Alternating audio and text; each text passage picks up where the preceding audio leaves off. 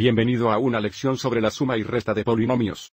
Observe que en el ejemplo 1 estamos agregando polinomios. En el ejemplo 2, estamos restando polinomios.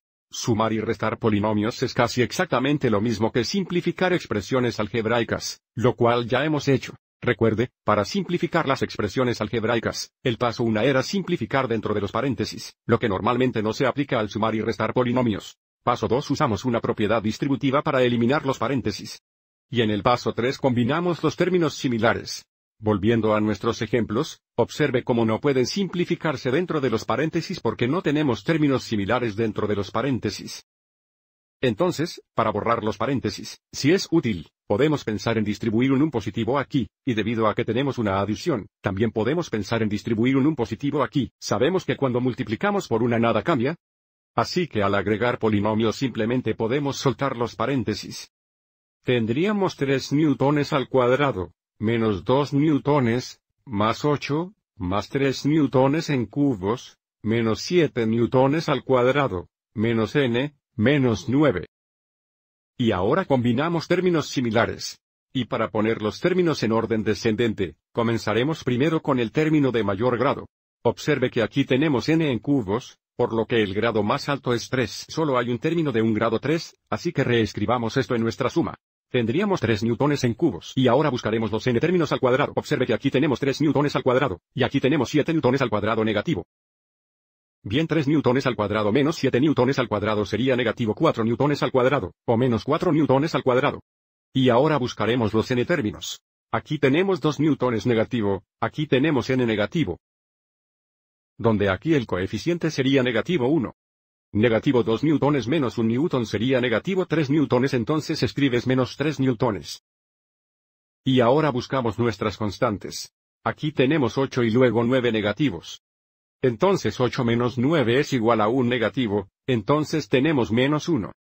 Entonces esta sería la suma de los dos polinomios. La distribución para borrar los paréntesis es extremadamente importante al restar polinomios. Nuevamente, observe que no tenemos términos similares dentro de los paréntesis, por lo que queremos borrar los paréntesis. Entonces, para borrar el primer conjunto de paréntesis, podemos pensar en distribuir un 1 positivo, pero debido a la resta para aclarar el segundo conjunto de paréntesis, distribuiríamos un negativo 1. Pero distribuyendo un negativo 1 nos aseguramos de terminar restando cada término en el segundo polinomio. Entonces, cuando distribuimos un 1 positivo, solo tenemos a en cubos, más 5a, más 11.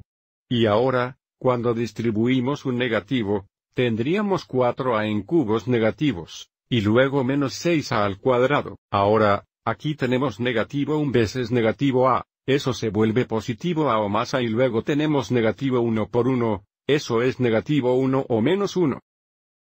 Y el último paso, nuevamente, combinamos términos similares. Entonces, comenzando con los términos de grado más altos primero nuevamente, esos serían los términos de grado 3, y aquí tenemos a al cubo y 4a al cubo negativo, por supuesto, el coeficiente aquí es 1. Entonces 1a en cubos menos 4a en cubos sería negativo 3a en cubos. Y ahora veremos los términos a al cuadrado.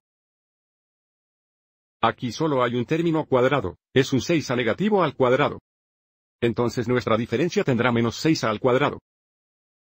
Y ahora para los términos A tenemos 5A y aquí tenemos A, que por supuesto es lo mismo que 1A. Entonces 5A más 1A es 6A. Entonces tenemos más 6A. Y finalmente mirando nuestros términos constantes, tenemos 11 y un negativo aquí. 11 menos 1 es igual a 10, entonces tenemos más 10.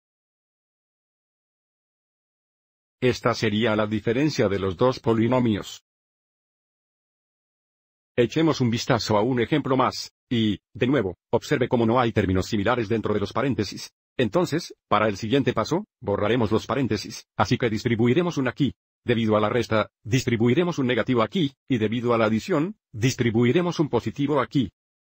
Entonces tenemos 3x menos 1, y luego tendremos una x negativa al cuadrado.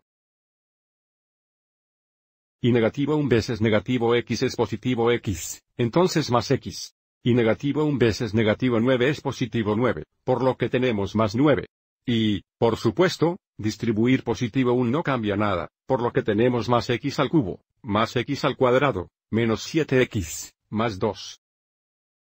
Y ahora combinaremos términos similares. Nuevamente, comenzaremos con el término de grado más alto primero. Observe que aquí tenemos una x en cubos, por lo que el término de grado más alto es grado 3. No hay otros términos de grado 3, por lo que tenemos 4x en cubos. Y ahora buscaremos los términos x al cuadrado. Aquí tenemos 1x negativo al cuadrado. Y aquí tenemos x al cuadrado, o 1x al cuadrado.